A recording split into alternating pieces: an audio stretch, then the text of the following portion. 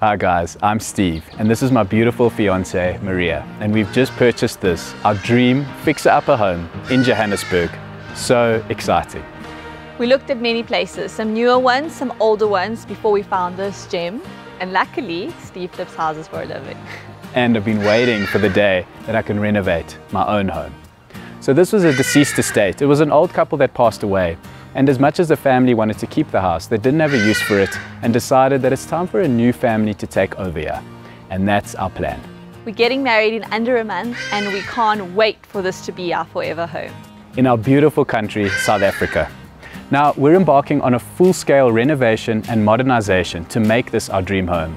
And we want to take you guys along on this journey with us. This is episode one of a series of episodes, and we've got some really cool partners on board. This, is Project V, and you're watching a Flipping Johannesburg renovation.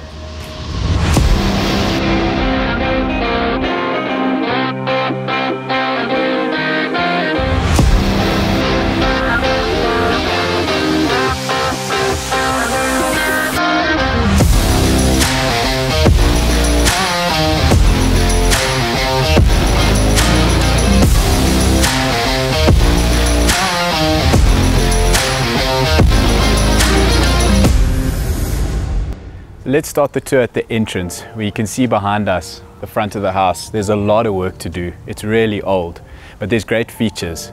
The parking space is amazing and there's two gates. So you can enter at this gate and you can drive out and exit that side. And that's quite palatial, so I definitely think it's going to stay. Two double garages. And a lovely carport for you. Thank you. and have a look at this rough textured plaster finish on the walls a nice dusty rose pink. Don't know what it is about this pink. I can think of three of my most recent projects that had the shade of pink on the walls. Must have been a fashion statement back in the days. Must have been. But let's head on to the point of contention.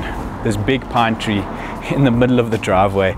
And the thing is, it is magnificent, but it's so huge and these roots are just gonna keep pushing up the paving, so it just doesn't work here, unfortunately. But we will have a grand entrance, definitely, and I picture a symmetrical pathway in the middle here landscaped with some pots leaning down. What do you think? Let's do it. Heading to the front door, it would be awesome to keep this feature stone wall in some way, but these burglar bars are going, that's for sure. And over here, it would be nice to create a bit of a double door entrance. I agree, that would complete the grand entrance design. The scroll, did you see this? What is that? So it's called a mezuzah, and it's Jewish tradition, so what you do is you touch it when you enter and exit the house. So pretty amazing, it's definitely a blessed home. Okay, so I'll do that every time we come in and out.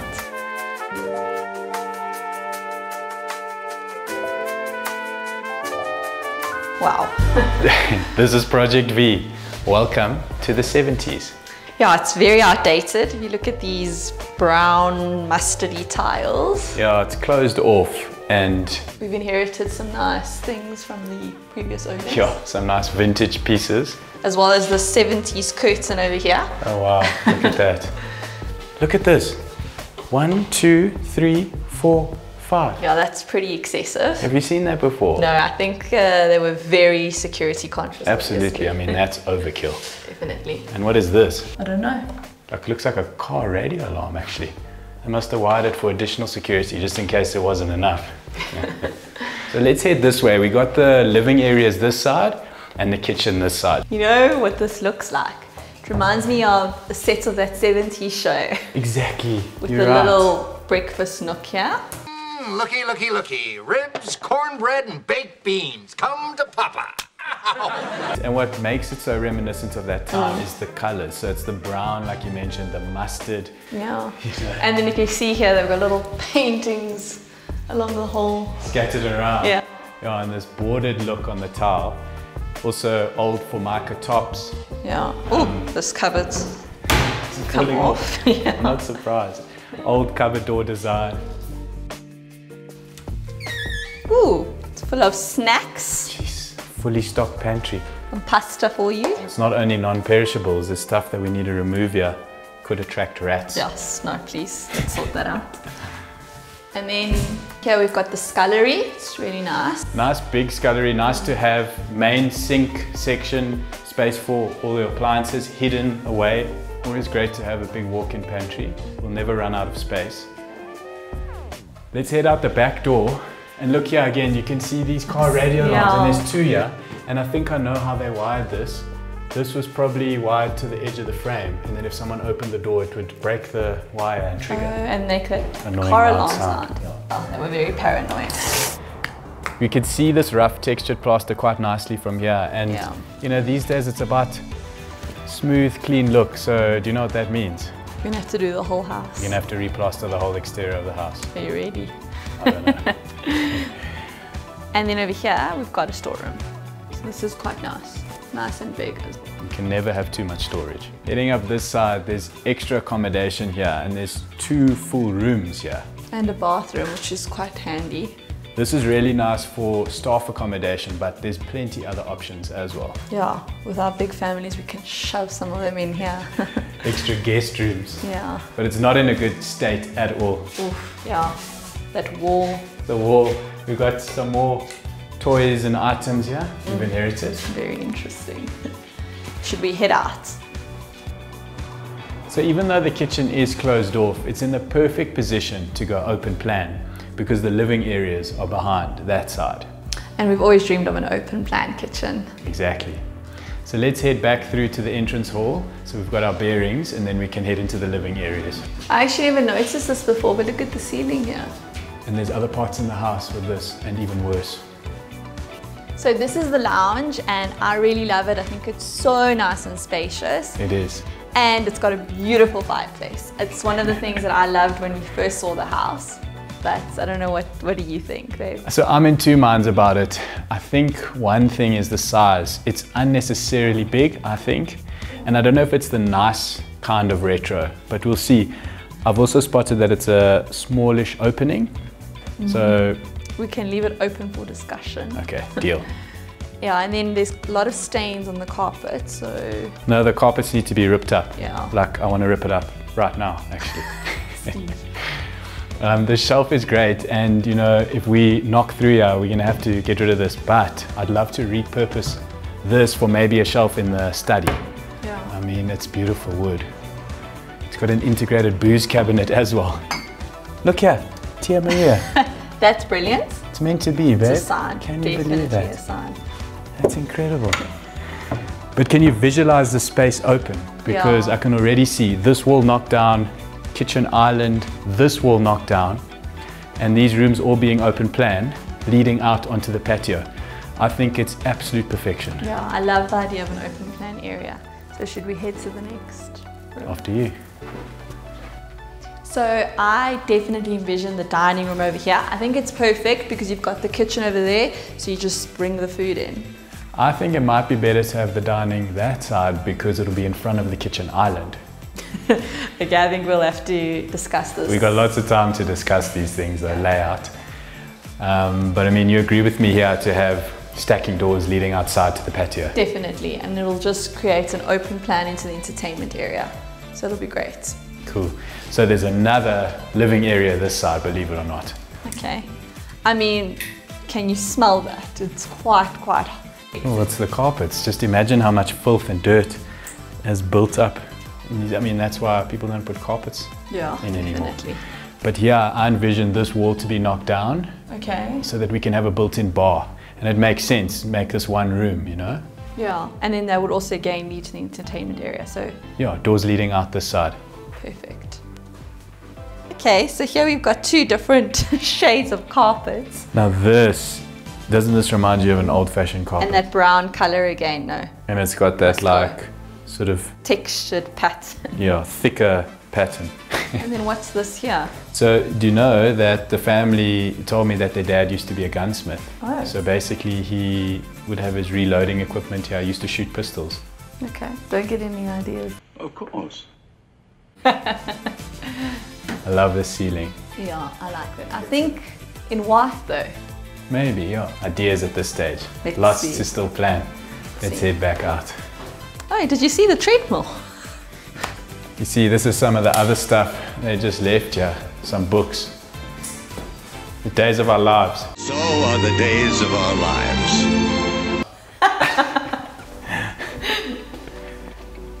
Did you see this alarm passive here? I actually did. Look at the position it's in. Wrong Right. position.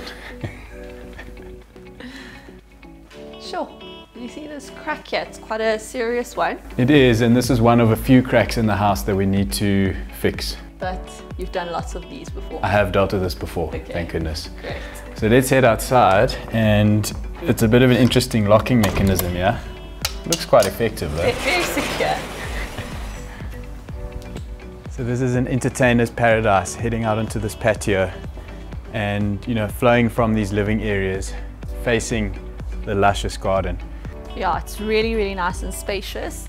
I mean, the color combination though is a bit um, worse for wear.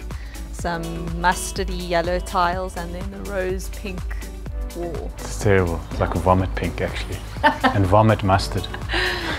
But I also had a vision of maybe putting some grass here that you would come out the bedrooms into the grass, but we can get to that. It's a really good idea, just to have a bit more green. Yeah. and this side to be newly tiled.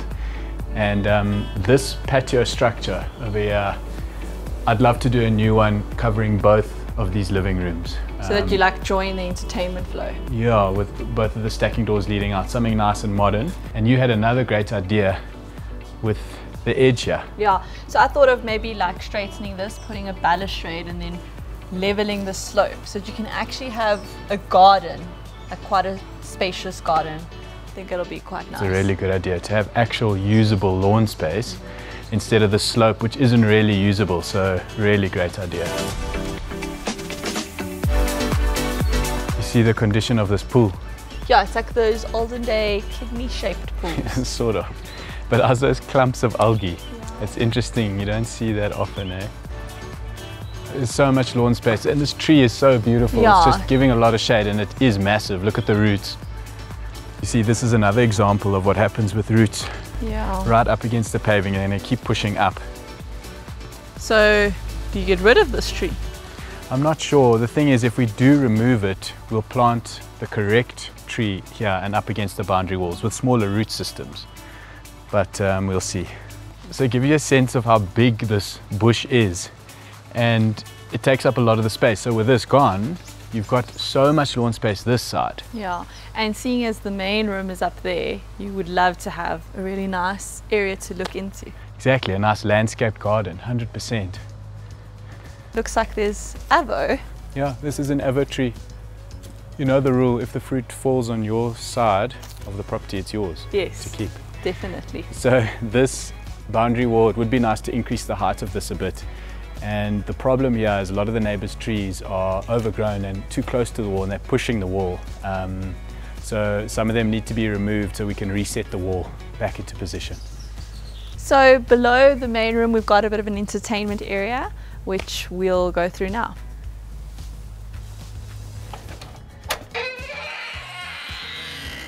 This is quite messy. Yeah, very messy.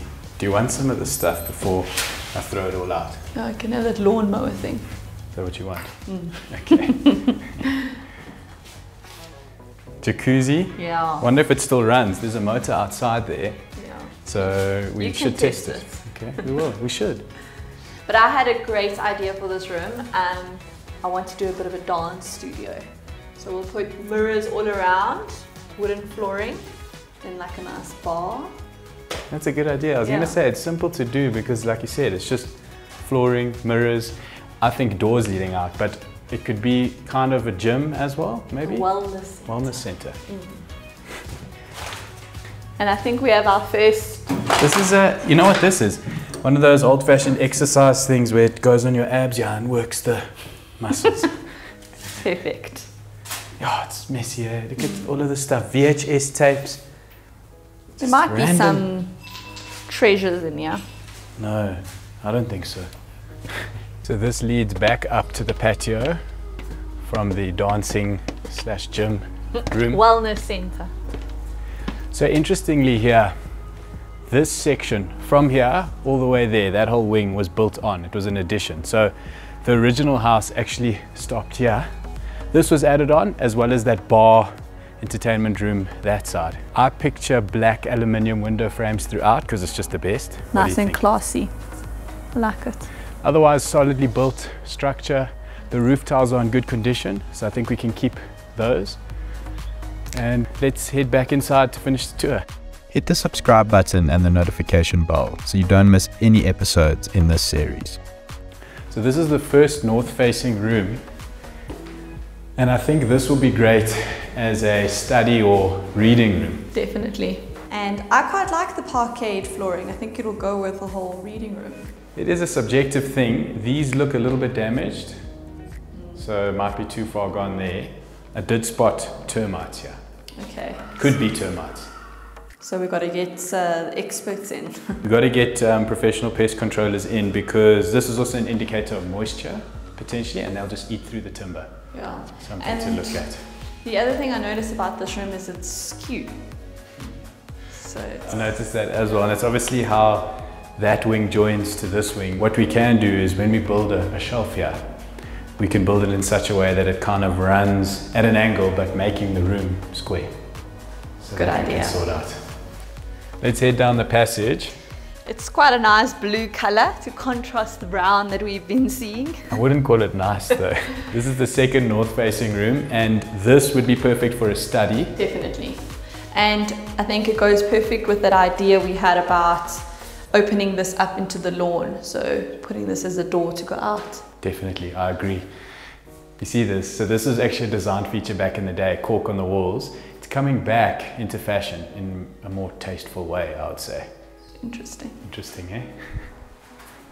The first thing we've noticed is this bubbling wall over here. So I see this a lot on unmaintained homes and basically the shower's on the other side, so it's moisture that's seeping through, hasn't been maintained, it's not sealed properly. but can you fix it? What do you think? Of course. and then here we've got the linen room, which is quite nice and spacious and very good to have. Over here, got a hypnotizing floor. yeah, it's interesting. Yeah. Fascinating design. I mean, it's not offensive, but um, No, very, I think it is. very dated as well. And these flowers from the wall. It's the same theme running through from the kitchen tiles with that border. I see that we've got ceiling damage here again. Yeah, and this could be because of a leak or a burst geyser. Let's head into the third north facing room and this frame is actually called a fan light frame. Yeah, I know this. My parents have this at their house. We actually do pull-ups on it. Show me. Another one. Okay. We're not keeping this though. this is the third north facing bedroom and it will be a study initially for us. Feature cork walls. And then again, we'll open this up to go out. Definitely. So this is the first full bathroom and we've got the same towel again. It's actually a bit of a psychedelic look. Yeah, that's the Yeah. word actually I was thinking of. Yeah, um, and the walls, the tiles, my grand would love that. Yeah, it's the same as the other bathroom. But look at that trap door. That's quite not in the right place. No, it's not. On top of the shower, it's a bit a weird. little bit scary actually. And this explains that damp, you know, on the wall, the other side. It just hasn't been sealed and the water's seeping through there.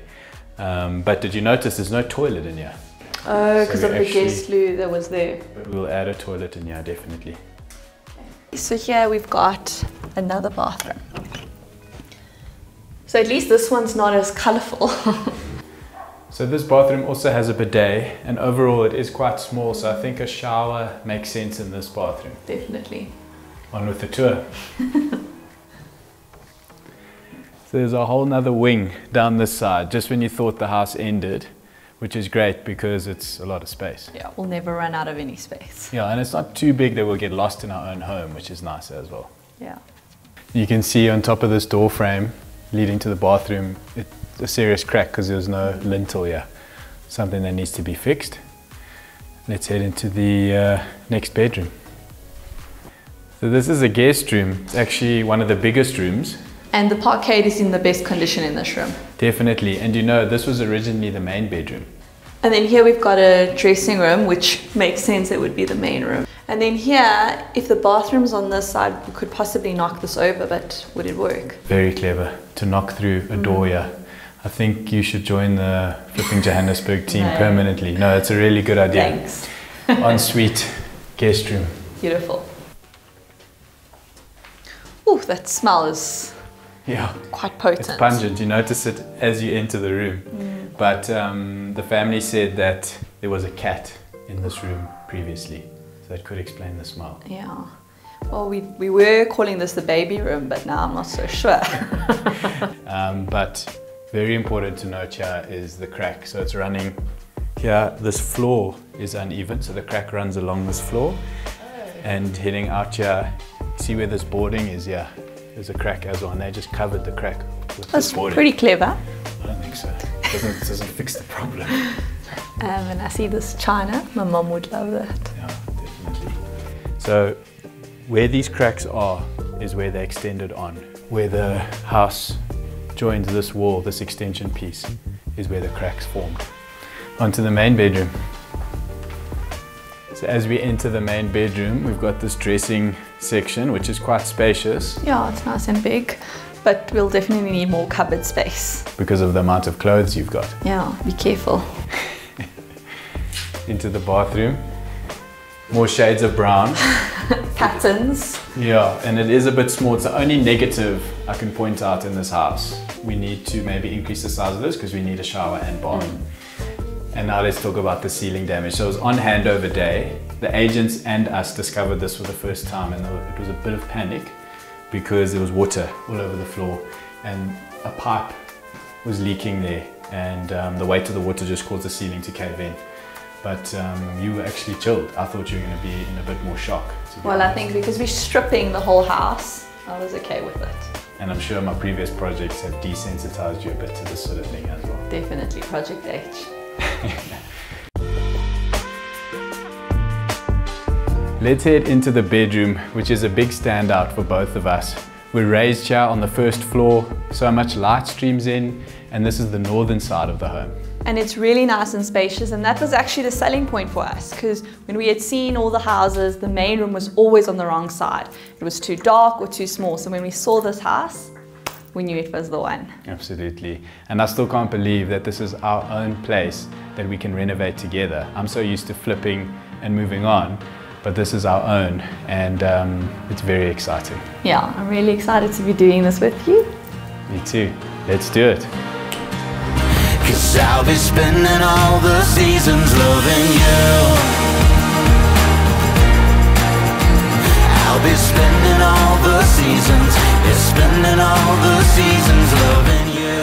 We're getting started with building a wall here where this palisade fencing is. And we're teaming up with builders. With this card, which gets me all of these materials and some of this back in my pocket. How lekker is that? Spend 50,000 Rand or more and start earning cash back, plus many other benefits. And with a project like this, I need all the savings I can get. So if you've started flipping or you're planning a home renovation, it's time to go pro with Builders Pro. This was episode one of a series. Make sure your notifications are on for episode two, where we get our hands dirty with demolition, buildwork, and more, and we officially start our dream home renovation. Stay tuned.